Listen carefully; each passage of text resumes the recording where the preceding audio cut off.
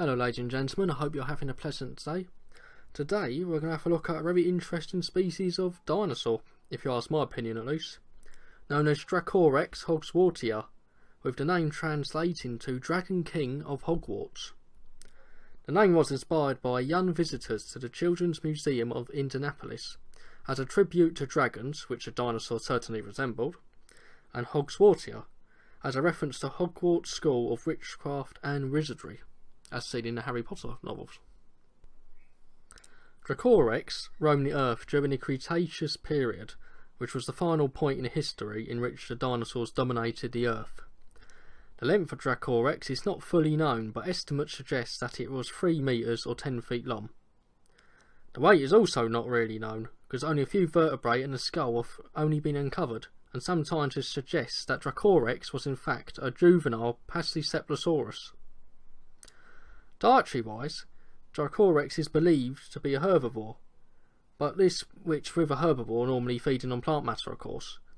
But scientists, after scanning Dracorex's skull, found out that the animal's incisors were in fact serrated, making Dracorex perhaps famously the first possible omnivorous dinosaur, meaning it feeds on both animal matter and plant matter.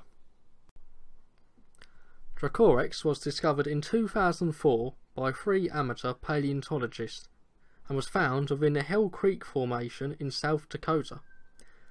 Dracorex would have shared its North American landscape with famous dinosaurs such as Ankylosaurus, Triceratops, and Tyrannosaurus rex. Dracorex is a member of the family Pachycephalosauridae and is related to species such as Stygimoloch and Pachycephalosaurus.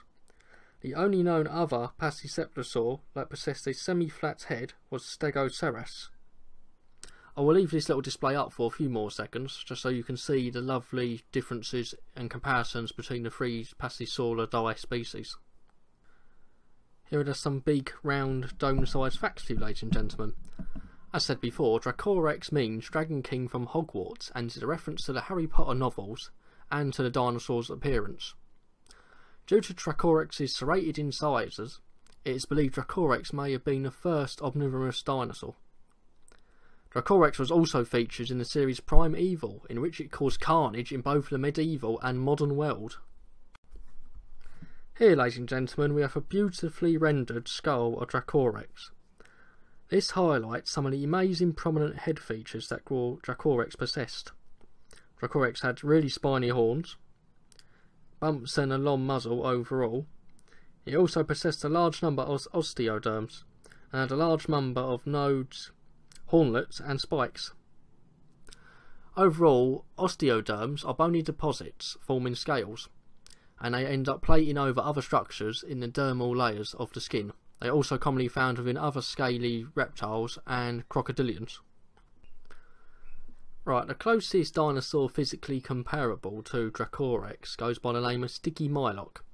It was another member of the family Parasaurolocephalidae, and the actual meaning, which I think is pretty bloody cool, means demon from the Styx, which refers to the river Styx found within, I think it's Greek mythology in the underworld.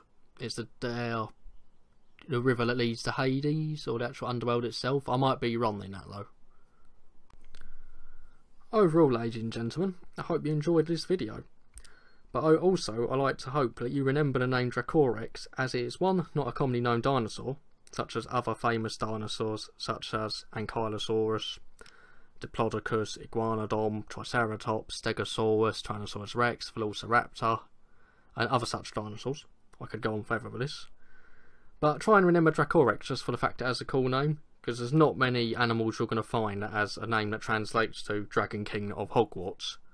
Which me being, I don't mind Harry Potter, but I'm not a huge fan of it. But even I find that a cool, that's a very cool name.